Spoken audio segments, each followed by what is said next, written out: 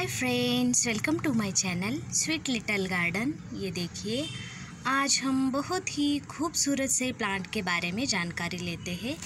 ये प्लांट जो है, बहुत ही रेयर होता है कॉमनली कहीं, किसी भी नर्सरीज़ में नहीं मिलता।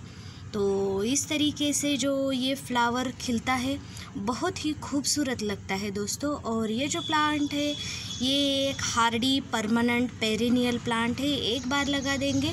तो ये सालों साल आपके गार्डन में चलता रहेगा। तो ये जो प्लांट है, इसमें तीन कलर में ये प्लांट आता है। ये देखिए, ये जो है एक डार्क पर्पल कलर में है। दूसरा जो आता है, ये इस तरीके से, ये थोड़ा सा पिंकिश कलर में आता है। और तीसरी जो होती है, इसमें वैरायटी वो ये होती है। ये देखिएगा, ये वाइट मतलब ये वाइट ये पिंकिश कलर और ये थोड़ा सा जो है लेवेंडर कलर कहिए या फिर डार्क पर्पल भी कलर ये दिखता है। तो वैसे तो ये डार्क, बहुत ही डार्क कलर है, लेकिन कैमरा में जो है थोड़ा सा लेवेंडर कलर दिख रहा है। तो चलिए दोस्तों, जानते हैं इस प्लांट के बारे में। ये देखिए, इस प्लांट में जो है एक लंबी सी स्टिक निकलती है और स्टिक के बाद इसमें ये देखिए इस तरीके से फ्लावर, जब भी शुरू शुरू में फ्लावर खिलते हैं। उनका कलर बहुत ही डार्क और साइज़ में बड़े होते हैं और जब भी ये फ्लावर्स थोड़े से मुरझाने लगते हैं तो इस तरीके से थोड़ा सा फेंट कलर में ये दिखते हैं। ये जो प्लांट है, ये कटिंग से बहुत ही इजीली ग्रो हो जाता है और कभी कभी जब कंडीशन जो है वेदर कंडीशन अच्छी हो तो इसमें फ्लावर्स भी बन जाते हैं। पॉलिनेशन भी होता है और फ्लावर्स भी जो है, इसमें सीड्स बना लेते हैं। ये देखिए दोस्तों, कितना खूबसूरत है ये फ्लावर्स और इसके सीड्स जो है कभी कभार बनते हैं, इसीलिए इसे कटिंग से ग्रो करना इजी रहता है। इसकी जो है छोटी सी छोटी कटिंग मतलब टोरेनिया की तरह छोटी की छोटी कटिंग भी चल जाती है। जब भी इसमें सीड बनते हैं फ्लावर फेड हो जाने के बाद तो वो पॉपी के फ्लावर जैसे रहते हैं, बिल्कुल उसी तरह छोटे छोटे और वाइट कलर में होते हैं, उस, उससे भी आप प्लांट ग्रो कर सकते हैं, लेकिन फ्लावरिंग देने में वो बहुत टाइम ले लेता है, इसीलिए कटिंग से ग्रो करना बहुत ही अच्छा होता है। ये देखिए दोस्तों, ये फ्लावर्स बहुत ही खूबसूरत लगता है और बहुत ये इजीली कटिंग से ग्रो भी हो जाता है। तो लो तो चलिए जानते हैं इस प्लांट के बारे में और कुछ बातें। तो इस प्लांट को जो है, आप पॉट नियरली अगर छोटा है प्लांट तो छः इंच का दीजिएगा और बड़ा है तो आप इसे दस इंच तक का भी गमला दे सकते हैं।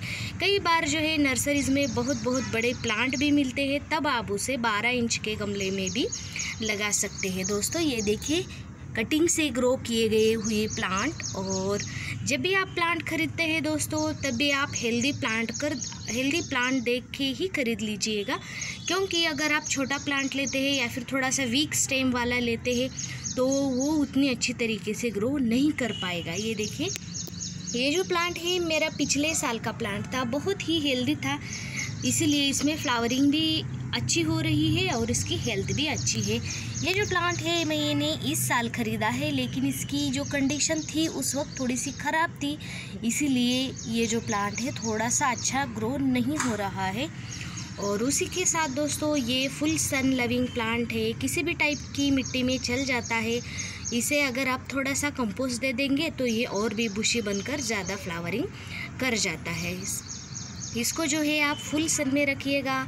सिर्फ़ समर में ही इसको जो है आप शेडी एरिया में रखेंगे तो ये बहुत अच्छी तरीके से चल जाता है। उसके साथ दोस्तों, इस पर जो है बहुत सारे डिसीज़ का अटैक अगर आप थोड़ी सी कम सनलाइट में रखेंगे तो इस पर ज़्यादा डिसीज़ गिरने का जो है डर रहता है। लेकिन फिर भी दोस्तों, इस पर जो है मिली बग्स या फिर स्पाइडर माइट्स और फंगीसाइड का बहुत अटैक हो जाता है दोस्तों। तो उसीलिए जो है आप इस पर हर हमेशा एवरी एवरी सेवन डेज़ में इस पर आप स्प्रे करते रहिएगा ताकि ये आपका प्लांट हेल्दी रहेगा। ये प्लांट दिखने में इतनी खूबसूरत भी दिखता है, फ्लावरिंग भी ज़्यादा करता है, लेकिन इसका एक जो ड्रॉबैक है दोस्तों, इसमें डिसीजेस बहुत लगते हैं।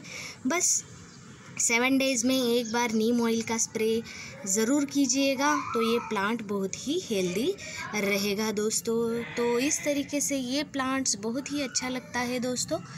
अगर आपको ये वीडियो पसंद आए इस प्लांट के बारे में तो ये जो एंजोलियोनी का प्लांट है, बहुत ही अच्छा दिखता है और इस प्लांट को जो है दोस्तों एंजिलियोनिया कहा जाता है। कई लोग जो है दोस्तों, इसको लेवेंडर का प्लांट कहकर भी सेल करते हैं दोस्तों, लेकिन ये प्लांट लेवेंडर नहीं है, ये एंजिलियोनिया का प्लांट है और बहुत ही खूबसूरत दिखता है दोस्तों। Thank you.